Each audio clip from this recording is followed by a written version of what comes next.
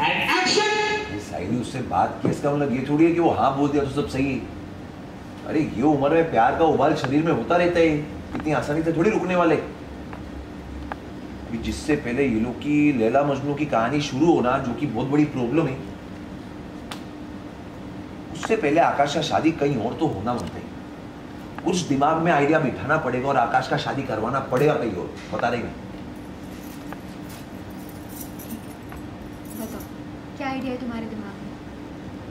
सोच। रही तुम सुबह से यही राग आलाप रहे हो। बताओ ना क्या सोचा है तुमने?